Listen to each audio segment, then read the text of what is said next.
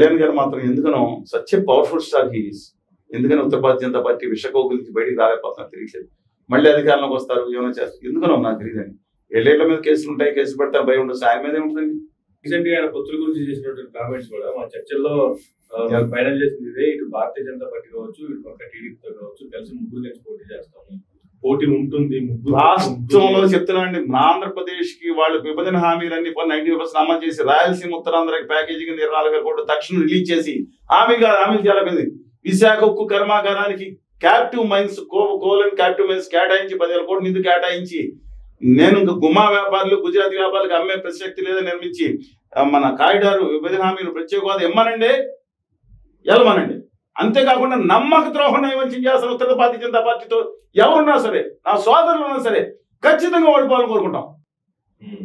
నమ్మక ద్రోహం చేస్తారండి. ఎన్నాళ్ళండి? పదేళ్ళ నుంచి దోపిడీతో ద- ద- నయవంచం చేస్తా ఉంటే ఇంకా నమ్మది ఎలాగండి? ఈయన మంచి ఆయన తెలుగు వాళ్ళకి కానీ ఆంధ్రప్రదేశ్ తెలంగాణ ప్రజలకు న్యాయం చేయాలని ఒక తపన ఆయన. ఉమ్. అస్థిరమైన నిర్ణయాలు కొన్ని తీసుకోవచ్చు. ఐమ్ నాట్ డినైయింగ్ దట్ ఒక తపన ఉన్న ఆ తపన కనపడుతుంది ఆయనలో. ఆయన ఉత్తర భారతీయ జనతా పార్టీ అంటే ఎట్లాగండి? ఇంకెంతకాలం అండి? ఎస్యూలు తీసుకోమనండి. ఇంప్లిమెంట్ చేయించమనండి తప్పులేదు చంద్రబాబు నాయుడు గారికి ఏ పరిస్థితి వచ్చిందో కూడా నేను మళ్ళా చెప్తున్నానండి. వైఎస్ఆర్ కాంగ్రెస్ పార్టీ కూడా వీళ్ళు ఒక రోజు కాదనుకున్న రోజు మీరు ఎంత వినయంగా విధేయతగా రాష్ట్ర హక్కులు కూడా వాళ్ళ దగ్గర తాకట్టు పెట్టినా సరే ఇవాళ మీరు చేసింది అదే. ఇవాళ హక్కుల కోసం పోరాడకుండా తీసుకెళ్ళి అక్కడ తీసుకెళ్ళి మీరు ఢిల్లీలోకి వెళ్ళి అడిగినట్టు నటిస్తున్నారు లేదా వాళ్ళు ఇచ్చినట్టు నటి ఏదో చేస్తున్నారు. అలా చేసినా సరే వాళ్ళకేం ఏం దయ ఉండదండి. తను అవసరం లేదనే క్షణంలో మీ కేసు ముందుకు తీసుకొచ్చి వేసేస్తానని చూస్తారు.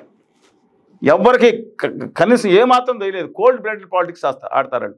నేను రావద్దని కూడా లేదు. నిజంగా ఆంధ్రప్రదేశ్ తెలంగాణకి ఆ విభజన హామీలు అమలు చేసి మొత్తం బాగా నిధులు ఇచ్చి మా భావితరాలు బాగు చేసి ఉత్తర భారత జనతా పార్టీ అధికారులు రమ్మని నేను వ్యతిరేకం కాదు. మోసం చేస్తా ఈ అందరు ఓట్లు వేయించుకుంటున్నారని ఇంత దౌర్భాగ్యం ఏంటండి? కర్ణాటక చూసిన తర్వాత వీళ్ళందరికీ ఏమవుద్ది? గుజరాత్ ఉంది మీకు తెలుసు. గుజరాత్లో ఉత్తర భారతీయ జనతా పార్టీకి ఎన్ని ఓట్లు వచ్చినాయండి? ద్రౌ మన గ- గౌరవనీయురాలు మన రాష్ట్రపతి గారి ఎన్నికల్లో భారతీయ జనతా పార్టీ క్యాండిడేట్కి. హండ్రెడ్ పర్సెంట్ వచ్చినాయా? సిక్కింలో వచ్చినాయా? ఒక్కొక్కనే ఎగనిస్ట్గా పడింది కదండి. హిమాచల్ ప్రదేశ్లో వచ్చిందా? జేకేలో వచ్చిందా? లేదా లక్షద్వీపులో వచ్చిందా. ఆంధ్రప్రదేశ్లో మాత్రం పదండి తోసుకు పదండి ముందుకు పోదాం పోదాం పోదాం పోదాం. ఆంధ్రుల ఆత్మగౌరవం తాకట్టు పెడదాం పెడదాం ఢిల్లీలో పెడదాం పెడదాం అని చెప్పి తీసుకెళ్ళి మొత్తం నూట డెబ్బై ఐదు సీట్లు ఇచ్చి ఇరవై ఐదు పార్లమెంట్ సీ కాళ్ళ దగ్గర పెట్టారండి. కనీసం వాళ్ళకి మెజార్టీ లేదు కదా అప్పుడున్న అడిగే ఆ, ఎందుకు అడగలేదు నేను అడుగుతున్నాను. ఈ మాట మేమంటే మేజర్ మీడియాలు మమ్మల్ని ఆ- పార్టీలకు అనుకూల మీడియాలు మాట్లాడినవా? మాట్లాడించిన ఒకరిద్దరు థ్యాంక్స్ అని చెప్తున్నాను సోషల్ మీడియా ఎందుకంటే నడుస్తుంది. ఇప్పుడు కూడా ట్రోలింగ్ చేసుకుంటారు. కానీ మేము మాట మార్చామా? మడం తిప్పామా? నిలబడి ఉన్నాం ఇవాళ ఏళ్ళకి ఏమైందంటున్నా అన్ని ప్రజలు ఇచ్చారు కదండి ఆ పదవులు ఎక్కడి నుంచి వచ్చినాయని చెప్పండి నాకు. అంత సంపదలో సిమెంట్లు హెరిటేజ్ ఏదైనా కానివ్వండి వీళ్ళకి ఎవరు ఇచ్చారు? ఇంత పదవులు ఇవాళకి కేబినెట్ హోదా మంత్రుల పదవులు లేదా మిగతా పదవులు అందరికీ ఎవరు ఇచ్చారు. ప్రజలు ఇచ్చారు న్యాయం చేయమని. అది మానేసి ఢిల్లీ దగ్గర తాకట్టు పెడతానంటే ఢిల్లీ దగ్గర సైవంతో ఇప్పుడు ఎన్టీ రామారావు గారు ధైర్యం తెచ్చుకుని చంద్రబాబు నాయుడు గారు కూడా ఆ రోజు చక్రం తిప్పి తెచ్చుకున్నారు. ఎర్రనాయుడు గారు మంత్రి ఉండగా రూరల్ డెవలప్మెంట్ ఉండగా ఆంధ్రప్రదేశ్కి నెంబర్ వన్ పేట వేశారు. I'm not denying that Rajasekhara Reddy గారు ఉండగా తెచ్చుకున్నారు. ఎన్టీ రామారావు కూడా పౌరుషంతో తెచ్చుకున్నాడు. ఇవాళ వీళ్ళకి ఏమైందండి అని అడుగుతున్నా నేను. ఏమైంది వీళ్ళకి? ప్రతిష్టని తెలుగు జాతి ఆత్మగౌరవాన్ని ఢిల్లీ పాదుషాల పాదాల దగ్గర పెట్టున్నారా లేదా ఆలోచించుకోమనండి. కానీ రాష్ట్రంలో చూస్తే ఏ పార్టీకి ఆ పార్టీ ఎవరికి వాళ్ళే పౌరుషం ఉన్న నేతలే. కానీ అందరు కలిపి కేంద్రం మీద పోరాడేటప్పటికి ఎవరికి వాళ్ళు ఎందుకు పౌరుషం లేని నేతలే కనపడుతున్నారంటే ఏం చెప్తారు? మీరు అందు కరెక్టే. ఇవాళ జగన్ గారి మీద పోరాడతాను మిగతా ఇద్దరు కత్తులు తీసుకుని బ్రహ్మాండంగా పోరాడుతున్నారు. జగన్ గారు ఇద్దరి మీద పోరాడుతున్నాను అంటున్నారు. చంద్రబాబు నాయుడు గారు జగన్ గారి మీద పోరాడుతున్నారు. మీరు కరెక్టే. పౌరుషం అసలు మా అది పక్కన పెట్టి కింద మిగతా బ్యాచ్ బూతులతో తిట్టుకుంటున్నారు. వీర వీరంగం చేస్తున్నారు. ఒకళ్ళ మీద ఒకళ్ళు కింద స్కాటరు. మామూలుగా లేదు పరిస్థితి అసలు. అలా కంటి చూపుతో చంపేసే టైపులో వాళ్ళ రాజకీయాలు నడుస్తున్నాయి. కానీ ఢిల్లీలోకి వెళ్ళిపోయిన తర్వాత ఈ సింహాలన్నీ ఏమైపోతున్నాయని చెప్పను. పోనీ అక్కడ మెజార్టీ లేదు కదండి. మన రాష్ట్రపతి ఎన్నికల్లో ఒక్క కండిషన్ పెట్టవచ్చు కదా. విభజన హామీలు ఇవ్వండి రాయలసీమకి ఇవ్వండి హోదా పోనీ పదిహేను ఏళ్ళు కాదు పదేళ్ళు ఇవ్వండి. మా పిల్లల భావితరాలు బాగుపడతారు. వలస వెళ్ళాల్సిన పరిస్థితి ఉండదని. రెండు వేల పంతొమ్మిది తర్వాత మేము భీకరమైన ఉద్యమం చేసాం నైంటీ ఫైవ్ పర్సెంట్ మెజార్టీ చూపించలేదు. పదే పదే ఎందుకు చెప్పాల్సి వస్తుందంటే చూపించిన ఫైవ్ పర్సెంట్ థ్యాంక్స్ అండి. చెప్తున్నాను. మేము ఉద్యమం చేయలేదంటారేంటి ఉమ్. ఎన్నిసార్లు యాత్రలు చేసాం సమరయాత్ర విద్యార్థి వదిలి వేలాది మంది రోడ్లు కిలోమీటర్ కిలోమీటర్ తరపున అలా ప్రదర్శన చేస్తూ ఉంటే చూపించి మేమేం చేయమండి. ఢిల్లీ వెళ్ళాం ధర్నా చేసాం ఏం చేయాలి చెప్పండి? స్వతంత్ర వ్యక్తిత్వం మమ్మల్ని అంటున్నారు. మీరు ఆ గట్టున ఉండండి ఈ గట్టున ఈ గట్టున ఉండండి. మమ్మల్ని ట్రోల్ చేసేది ముందు దాంట్లో తెలుగుదేశం వాళ్ళు ట్రోల్ చేస్తున్నారు. చంద్రబాబు నాయుడు గారు ఉన్నప్పుడు ఉద్యమించారు అంతకన్నా గట్టి ఉద్యమం చేసి చూపించలేదు బాబు ఎలా చెప్తాం మేము కాదండి. వాళ్ళు అంటారు చంద్రబాబు నాయుడు గారితో మాట్లాడితే మతానికి కులానికి ముద్రేస్తారు వైకాపా బ్యాచ్. వీళ్ళందరికీ పైన ఉత్తర భారతీయ జనతా పార్టీ బ్యాచ్. వాళ్ళ ఆ కన్సర్న్లో ఓన్లీ ఏంటంటే because I do have respect towards Kalyan Babu గారు వాళ్ళ బ్యాచ్ మాత్రం. నేను వాళ్ళని మారండి అనుకున్నా గౌరవం ఉంటున్నారు. ఎందుకంటే ఆయన కూడా ట్వీట్ చేశారు. చల్సన్ గారితో అందరితో మేము మాట్లాడతాను సరే when respecting because of some commitment ఆయన లోపల కొంత కనపడతా ఉంది నాకు. కానీ మిగతా వాళ్ళ ప్రభావం నుంచి బయటికి రావాలి. ఇవాళ మళ్ళీ చెప్తున్నాను ఇది మంచి అవకాశం కళ్యాణ్ గారికి. మీరు ఉత్తర భారతీయ జనతా పార్టీ అహంకారం మీద వెగనిస్ట్గా ఆంధ్రప్రదేశ్ తెలంగాణ తెలుగు జాతిలో పదమూడున్నర కోట్ల మంది నేను ఆయన చెప్పారు మీటింగ్లో. చిక్కబల్లాపూర్ ఆంధ్రప్రదేశ్ కంటే ఎక్కువ వస్తారు. చిక్కబల్లాపూర్ బళ్ళారి బారంపూర్ రమ్మనండి చెన్నపట్నం రమ్మనండి అక్కడికి వెళ్ళమని మైసూర్కి వెళ్ళమనండి. ఆ సిరోంచి అహిమ్ వెళ్ళమనండి మహారాష్ట్ర ఉంది కానీ సోలాపూర్ వెళ్ళమనండి. ఇవాళ ఆయన బయటకు వచ్చి పదమూడున్నర కోట్ల మంది తెలుగు జాతికి అన్యాయం జరుగుతుందని డంకా కొట్టి ఇలా బజాయించి నిలబడి మాట్లాడమనండి. ఫైవ్ పర్సెంట్ టెన్ పర్సెంట్గా థర్టీ ఫైవ్ పర్సెంట్ ఓట్లు వస్తాయి. చెప్తున్నానండి మిగతా అందరినీ చంద్రబాబు నాయుడు గారిని మిగతా అందరినీ కూడా కన్విన్స్ చేసుకోమనండి. పోరాడమనండి ధైర్యంగా. పోరాడితే పోయేది ఏముందండి మన ఈ ఢిల్లీ పాదశాలకు బాలిస సంఖ్యలు విడిపోతే ఆత్మగౌరవంతో నిలబడతాం మనం. అంటే మీలాంటి సీనియర్లు పవన్ కళ్యాణ్ గారికి ఇంత స్టామినా ఉందని చెప్తున్నారు. కానీ పవన్ కళ్యాణ్ గారేమో మీ మీద నాకు నమ్మకం లేదు. మీ ముందు నాకు సీట్లు ఇవ్వండి తర్వాత నేను పోరాడతా అని చెప్పి ఆయన మాట్లాడతాను ఆయన స్థిరత్వంతో ఉంటే డెఫినెట్గా మరి ఎవరి సలహాదారులు ఉన్నా తెలియదు కానివ్వండి. డెఫినెట్గా ఉండేది. నేనే వాళ్ళు చెప్తున్నాను అన్నయ్య గారు కనుక సమైక్యాంధ్ర కోసం నిలబడి ఉంటే ఆయన ఖచ్చితంగా ముఖ్యమంత్రి అయ్యేవారు. కళ్యాణ్ బాబు గారికి ఉన్న ధైర్యం ఆయనకి లేకపోవచ్చు. కానీ ఆయనకున్న చరిస్మా ఎంటైర్లీ డిఫరెంట్ అండి. అది అక్రాస్ ఆల్ సెక్షన్స్ చరిస్మా ఉంది. ఆయన ఆ రోజు కనుక ఏమనుకున్నారంటే ఆయన కేంద్ర మంత్రి పదవి సోనియా గాంధీ గారు ఇచ్చారు నేను అది అది కూడా కాకుండా తెలంగాణలో కూడా నా ఫ్యాన్స్ ఉన్నారు. అత్యధిక సినిమాలు నైజాంలో వచ్చాయని. బాలకృష్ణ గారు రాయలసీమ పడితే ఇన్ని ఎక్కువ సినిమాలు నైజాంలో కలెక్షన్ ఎక్కువ ఉండేదండి. కానీ ఇవాళ కనుక నేను ఆయన మాట తిట్టరు కదండి ఎవరిని ఎవరికి మనసుని నొప్పించడానికి కూడా చూడరు. చిరంజీవి గారు. ఏమైనా బాధపడతారేమో అనుకునే మనిషి ఆయన. ఆయన రెండు వేల తొమ్మిదిలో ఓడిపోవడానికి కారణం చెప్తారు. రాజశేఖర్ గారు మంచిగానే చంద్రబాబు నాయుడు గారు మంచిగానే వాళ్ళు ఎంతో కొంత చేశారు కానీ వాళ్ళకన్నా నేను బాగా చేస్తాను. ఇది ప్రజలకు రుచించాలి తిట్టాలన్నమాట. అలాంటి మంచి మనిషి. ఆయన కనుక రెండు వేల పదమూడులో నిర్ణయం ప్రకటించి వెంటనే నేను తెలంగాణ సోదరులు ఏమన్నాం కానీ కలిసి కలిసి ఉండాలని కోరుకుంటున్నాను. ఐ రెస్పెక్ట్ దమ్ ఎవ్రీబడి అని చేతులు పెట్టుకుంటారు. తాత్కాలికంగా తెలంగాణలో ఆయన విశ్వమనాలు తాగొచ్చు కానీ ఇవాళ అర్థం చేసుకునేవారు. ఆంధ్రప్రదేశ్ ముఖ్యమంత్రి ఖచ్చితంగా ఉండేవాడు. రామ్మోహన్ లేక నా చిన్నప్పుడు చెప్పారు. ఈ రాష్ట్రంలో బలి ఒక కమ్యూనిటీ కమ్యూనిటీకి వస్తే అధికారం వచ్చినట్టు కాదండి. ఖచ్చితంగా రావాల్సింది అన్నారు.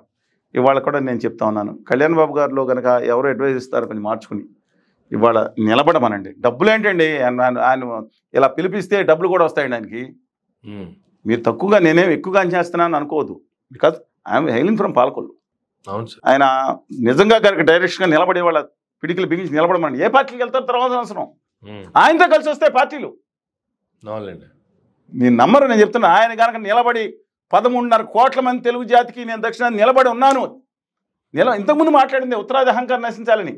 కారణం రాసుకున్నట్లు మాట్లాడింది. బయట నిలబడితే ఆయన ఏ రాజకీయ పార్టీలు ఎవరు కలుస్తారో కలవద్దని నేను నన్ ఆఫ్ మై బిజినెస్ నా తెలుగు జాతి హక్కుల కోసం ఆత్మగౌరవం కోసం పోరాడమన్నా. ఖచ్చితంగా నేను ఏదో మాట మార్చలేదండి. ఓకే.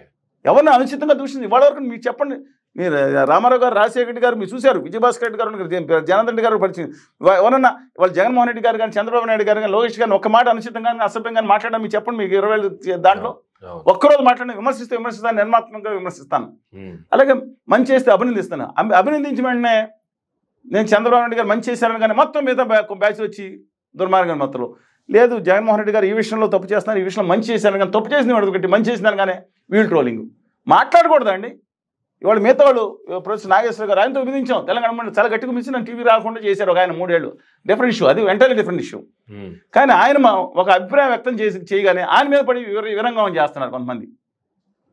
వీళ్ళందరినీ చంద్రబాబు నాయుడు గారు మాటలు ఏదైతే ఉన్నాయో అది మిగతా అందరూ పాటిస్తే సుఖంగా ఉంటుంది. మొన్న ఆయన రజనీకాంత్ గారి గురించి ఒకటి చెప్పారు. ఏమే రజనీకాంత్ గారు ఎవరిని తిట్టలేదు కదండి? అంతే ఆయన చంద్రబాబు నాయుడు గారిని బాగున్నారు మంచి అన్నారు ఆయన ఇష్టం. అంత మాత్రం ట్రోలింగ్ చేయాల్సిన పని ఏంటి? బుద్ధులు ఇట్టాల్సిన పని ఏంటండి. అదే నేను అడుగుతున్నాను. మేము ఒక అభిప్రాయం చెప్తే వాళ్ళ పార్టీ క్యాడర్ కూడా బూతులు తిడతా ట్రోలింగ్ చేస్తా చేస్తే అది కరెక్టా? ఇదే పరిస్థితి జగన్మోహన్ రెడ్డి గారిని కూడా అడుగుతున్నా. మీరు బాధపడ్డారు. ఎవరో అధికార ప్రతినిధి మిమ్మల్ని మాట్లాడారు నా బూత్ మాట కూడా ఉచ్చరించడానికి బూత్ మాట కూడా మీకు మీరే చెప్పుకున్నారు. బాధపడి ఆవేదన ఇలా అయిపోయింది అన్నారు మరి మీ క్యాడర్ మాట్లాడే బూతులు మేము చూపించమంటారా? వందల వేలు. ఎందుకనండి అది? ఎక్కడికి వెళ్ళిపోతుంది సమాజం? వాళ్ళ ఇంట్లో పెంచిన పద్ధతిలో సంస్కారం ఇదేనా వాళ్ళ క్యాడర్ని? విమర్శించండి గట్టిగా విమర్శించండి తీవ్ర విమర్శన చేయండి. అసభ్యంగా అనుచితంగా ఉండకూడదు.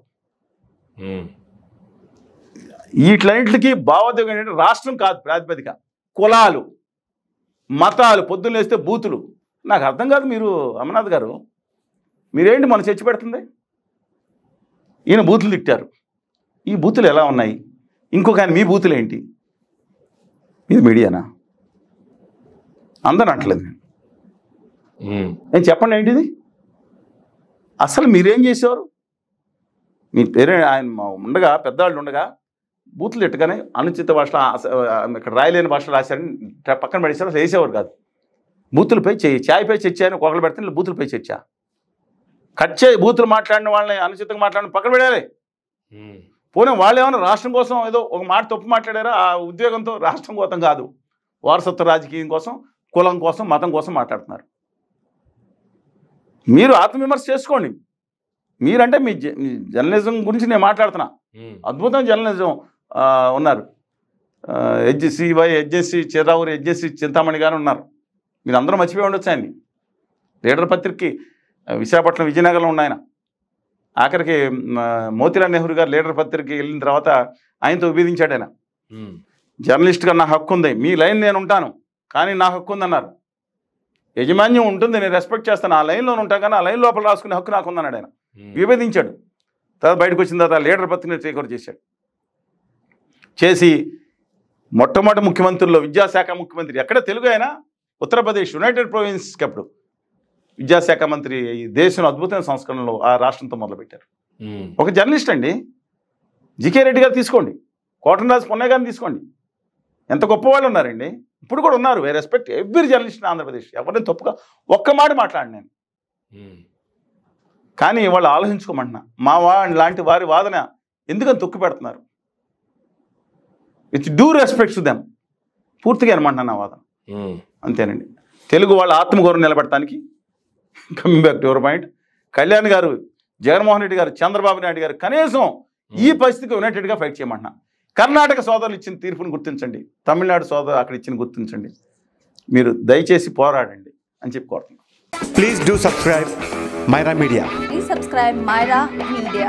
Subscribe to Myra Media. Please like, share, and subscribe to Myra Media for a lot of film news, gossips, and hot hot news. Please like, share, and subscribe to Myra Media. For more interesting updates, please subscribe to Myra Media YouTube channel. For more updates, please subscribe to Myra Media. So, like, share, and subscribe to Myra Media.